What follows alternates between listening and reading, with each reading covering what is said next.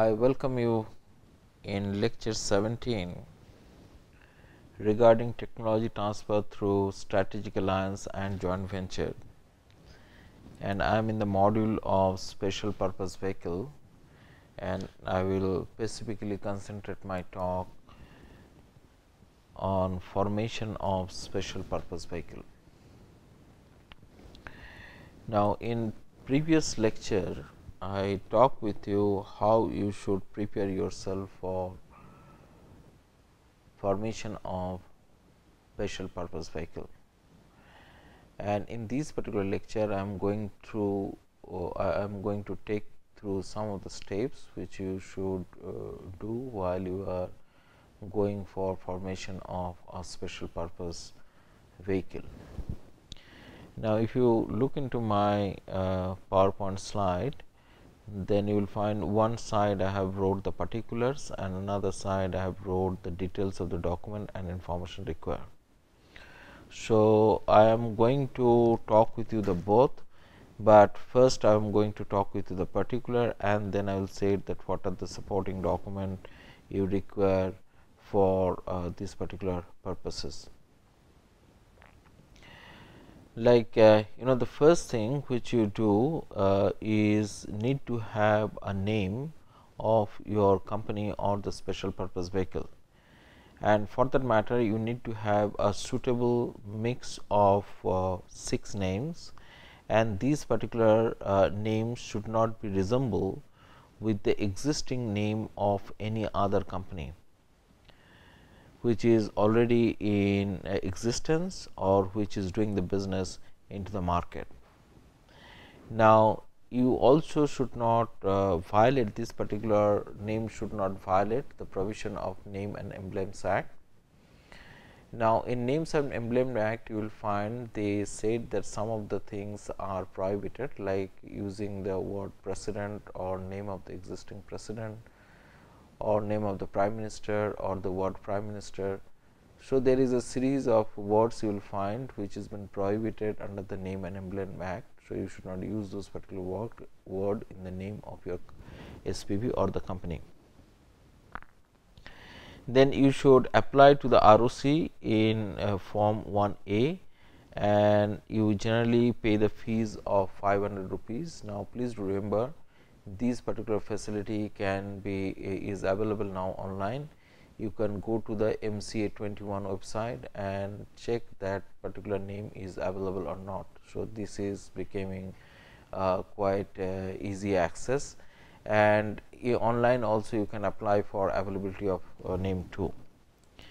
Now, uh, then you should uh, if, if you find that that particular name is not available then you should go for application of a phrase phrase name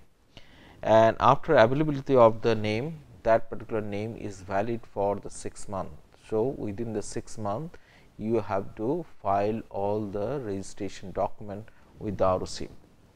Now, to do this particular thing you need to have couple of information and I am going to deal with you with you relating to this particular information. The first one is the board is required to pass a resolution in their respective uh, uh, meeting uh, like you know as I have told you in case of the joint venture the joint venture partners are there or the sponsor of joint ventures are there that means who are interested to promote this particular joint venture. So, they have to you know pass a resolution in their board itself. Many of the time you will uh, find that uh, the companies are interested to put their name or the brand name in the name of the new joint venture company. So, uh, if, if it is uh, you know uh, I mean a particular name say, say for example, if it is a name of Infosys and Infosys is doing the joint venture with another company say IBM then in the joint venture company they might like to keep the Infosys uh, IBM joint venture private limited something like that or maybe Infosys uh, IBM because so that it can immediately give kind of a recognition or the brand value to this new joint venture. and uh, you know in this particular trend you will find quite common in case of the insurance company who are uh, you know delivering the insurance product in Indian market like you will find that these are Bharti AXA then you will find Tata AIA because people only in case of the financial uh, you know instrument people generally trust a particular brand. So, wherever the question of trusting the brand comes they generally put this particular uh, put the company's name in that uh, brand itself. Then you need to talk about uh, subscribe the equity share capital of the company starting in the manner and shareholding and then the make the necessary application with the ROC of this particular company. So, these particular two things that is you know what kind of uh, investment you are going to make in the equity as well as can they use the uh, brand name you have to take the decision in the board and then you also need to decide that you are going to apply in the ROC and who is going to uh, apply this particular uh, thing. Now, the information which is required to provide is uh, name, occupation and complete address of uh, the co-promoters. Co-promoters is uh, uh, is generally the joint venture partner or the sponsor in the joint venture and one of them need to sign in form 1a that means which you are using for applying the name of the company. Uh, then you need to name of at least two promoter if it is a private limited company and 7 in case of uh, public limited company and promoter uh, means are those people who are going to subscribe the memorandum of association and article of the association.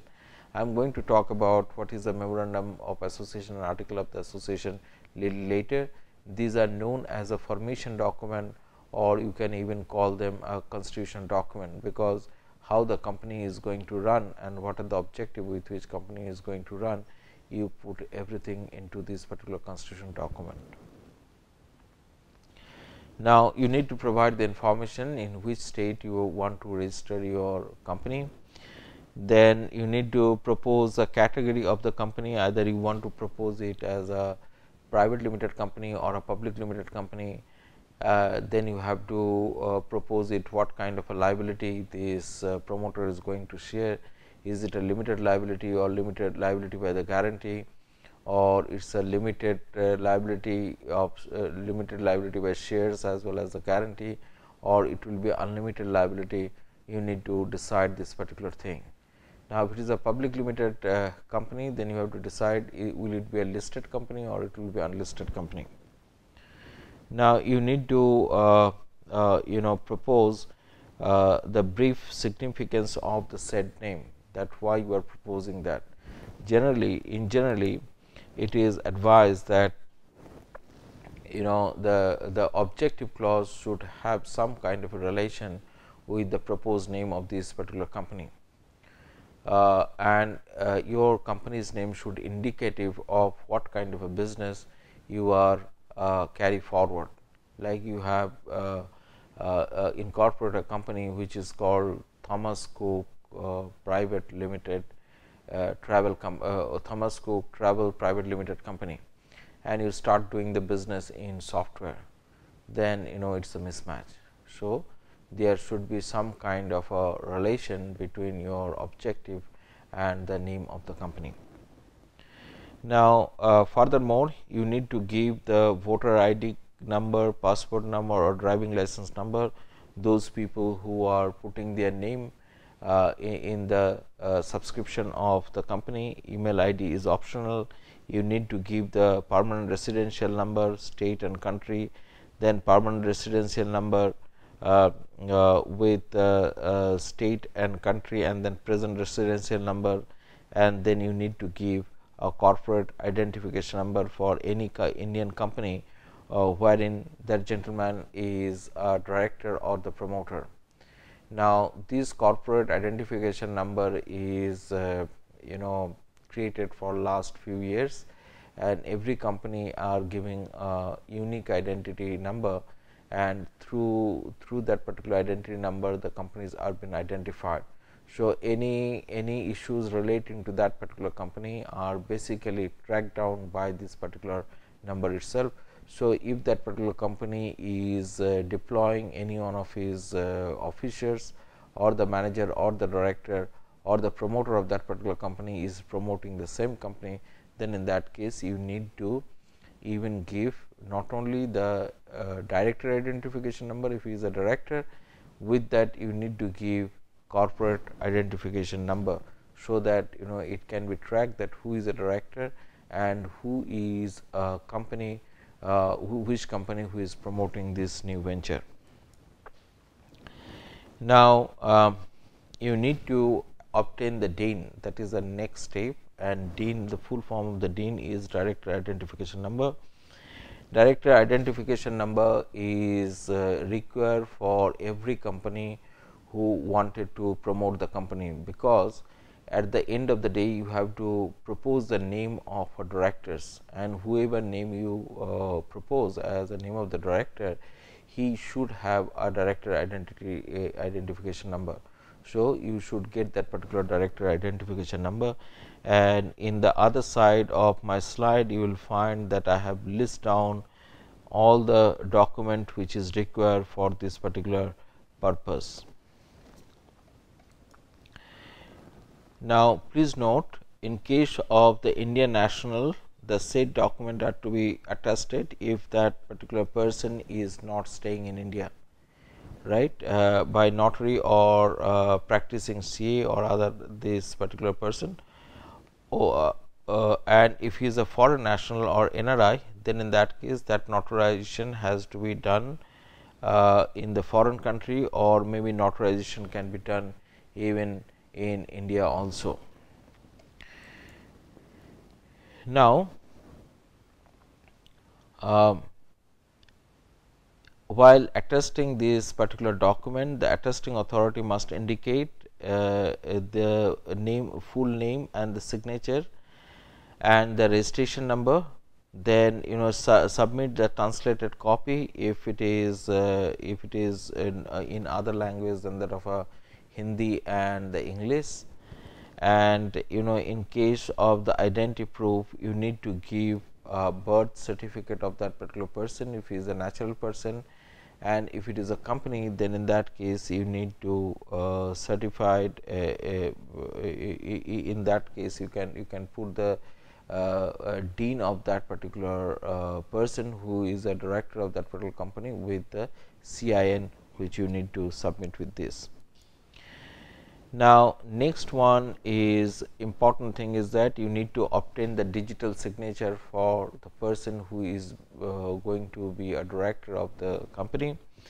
And in other side I have listed down what are the proof is required for getting the digital certificate because digital certificate is mandatory because most of the compliance document today you need to file electronically and if you want to file those particular document electronically then in that circumstances you need to do a digital authentication. Now, uh, next step is formation of memorandum of association and in the memorandum of association please ensure that all the relevant clauses in the joint venture or SA agreement is been incorporated. So, whatever the objective clause of uh, you know or, or, the main objective clause in in SPV's document you need to draw it from the joint venture whatever you have decided in joint venture agreement or strategic alliance agreement. Now, what is memorandum of association and article of the association I have told you a, a previous uh, in my previous lecture, but let me repeat now Memorandum of Association article of the association is a formation document which is required for every company whenever you want to incorporate a company. And memorandum of association is uh, comprises of uh, information like uh, register office, name of the company, then what is the main objective, liability clause, then the subscription clause, all those particular thing. At the same time, article of the association is uh, comprises of the information relating to how to manage the company. So, you need to detail out all this particular thing. Uh, So, document required in this particular case are generally the joint venture agreement, but please remember joint venture agreement is not required to submit while you are submitting all the document to the ROC, but you have to uh, you know uh, draw the information or draw the objective clause from this particular joint venture agreement. Now, uh, next is you need to go for a declaration uh, many of the declaration like uh, you, you, you have to get the uh, uh you know uh, declaration of the compliance in the form 1 and this particular declaration of the compliance is generally given by the professionals or the director who is going to be a director of that particular company. Then you have to uh, uh, give the notice relating to the register office of the company and there is a form number 18 which I have given to you. Then you need to have a particular director, manager or secretary and their name should be mentioned in a form 32 who is going to discharge this particular function. And uh, if you are uh, uh you know incorporating this particular company who shall carry out the, all the necessary formality, you need to give him a special power of attorney, special power of attorney. Generally, uh, these particular document are submitted by any charter accountant or a cost accountant or uh, many of the time you will find company secretary or the lawyer then they need to be given a special power of attorney so that they can submit on your behalf. And again in the other side you will find I will detail out what are the information you need to uh, give. And one of the important thing is that you need to tell that within which police uh, station jurisdiction your company's register office will be. And you might find unusual, but uh, this is there because there is a some kind of a criminal uh, some kind of a criminal charges can be framed against the company. And because of that you need to give this particular information. Now, furthermore, if it is a foreign national and if the person is not available in India, uh, special power, uh, special power of attorney is need to execute it on non-judicial stamp paper of valid requisite specified uh, further into this uh, document and the copy of the first passport will be required for the veri verification. Now, uh, in, case of uh, NRI as well as the foreign national, the special power of attorney shall have to be executed uh, by the consulate general of the Indian embassy situated in that particular country. And in these particular circumstances, if you look at the other side, you need to give the consent letter from the director. That means, the person who is going to be a director of that particular newly formed company. So, this is important in case if you are uh, creating a joint venture uh, with uh, your foreign partner and there will be a possibility that you know one of uh, or uh, number of uh, board member will be a foreign national. So, in that cases you, you need to do this particular exercise whatever I have shown in, in the last slide. Now, in this particular slide what I did I have basically you know given the step what you need to do and then I have given the name of the forms which you are going to fill it up and then you need to get a consent letter from the directors who will be the director after the incorporation of the company. Any agreement which is referred in the memorandum and article of the association that is a joint venture agreement or strategic alliance or which I have told you in my previous lecture that if you have an umbrella agreement and under that you have a several specific agreement in joint venture then I will advise you that you should submit all the agreement uh, while you are submitting the memorandum and article of the association to the ROC for consideration. Furthermore, if you are entering into any agreement with the CEO or managing directors or CEO or CFO, then in that case those particular agreement you should submit before the ROC because these are the key agreement and the key persons who are going to drive this particular company on the incorporation. So, this particular information should come in the public domain because whatever the information you are filing with the ROC, this information will be in the public domain. Uh, you need to give a special power of attorney to the professional who is going to comply um, or submit all this particular document on your behalf and you need to pay the filing fees or the registration fees by the check. Please do remember uh, please remember that um, uh, you know your registration fees is depending on what should be the authorized capital of yours. So, this is important for you because if you are not require a, a huge amount in the initial time as authorized capital, you should not put it as authorized capital. So, you should optimize on this particular fund, so that you do not have to pay unnecessary registration charges or filing charges at the time of incorporation. Now, once you file all this particular document, registrar will issue you a registration uh, incorporation certificate and in general incorporation certificate sent by the registrar in the register office, uh, office, office by the speed post. So, once uh, your company is received the incorporation certificate or the date uh, it is mentioned in the incorporation certificates is the date date of your company's birth and this is an important date you need to refer it uh, many of the compliance document this particular date again and again.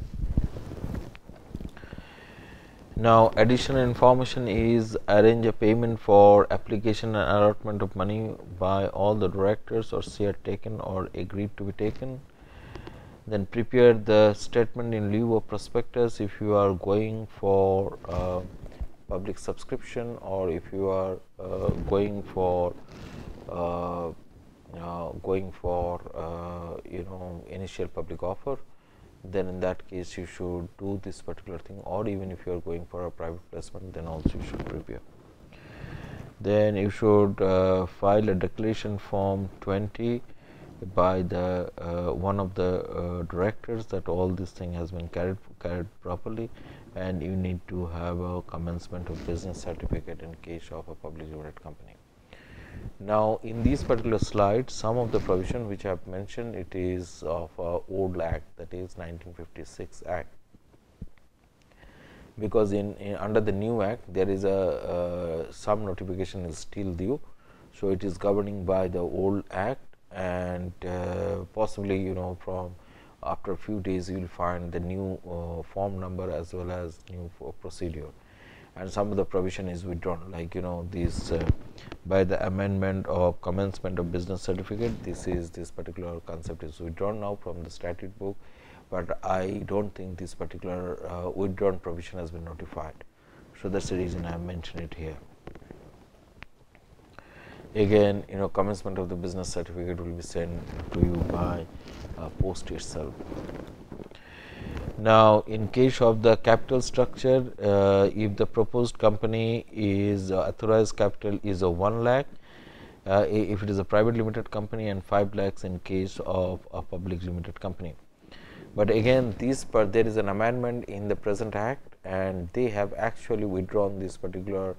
authorized capital minimum uh, amount of authorized capital, but I, I, I do not think that is uh, yet notified. So, that is the reason I have given this particular old uh, you know information because accordingly the companies has been allowed to be registered. Now, notification means you know there uh, might be amendment in the act itself but until unless that particular amendment is notified in the official gazette it is not come as a law or is not come as a operation of law. Now, uh, I have talked with you relating to what should be the author, authorized capital for a company and uh, then you need to uh, pay everything in pay and accounts officer uh, Ministry of Corporate Affairs New Delhi and all this particular thing is payable in New Delhi only. uh, you need to discuss about the composition of the board and in every limited company is required to have a minimum uh, two company if it is a private uh, two director if it is a private limited company and the three director if it is a public limited company and you know uh, herein you know if you have mentioned a detail in the joint venture agreement that which are the kind of people is going to comprise your board then in that case it should move accordingly and you should uh, you, you should have also mentioned this particular uh, agreement joint venture agreement under the AOA of the company. So, whatever has been mentioned in the AOA uh, number of people in your uh, board of director you should go ahead accordingly. So, in the board of director there might be you know some people who are the executive directors, some people are non-executive directors, some people are independent director. So, whatever the composition you have proposed accordingly you should appoint the director in the board. Now, please do remember in, in case where I mean this was a pretty old provision. Now, this provision is not uh, you know replicated, but you know but let me tell you because it is still in the statute book. In case where the name of the director is not mentioned, the promoter who is subscribing the uh, memorandum and article of the association, he will be a default director of the company. Now, you also need to say that this is a profit making company or not a profit making company. If it is a non profit making company, then you have to additionally apply for a license under uh, section 25 of the old act and it is section 8 under the new act. That means under uh, companies act 2013 and the central government is going to issue the certificate on based on certain criteria uh, and it might tell you that what are the do's and don'ts because uh, whenever you are getting this particular exemption you are also not use this particular entity for any commercial venture. Because whatever the profit you are going to get out of that particular company it might be utilized for a development of art social cause or for some other benefit. So you need to decide that uh, uh, you are going to put this particular SPV for or for uh, a, you know uh, uh, for for profit making or non profit making. Thank you.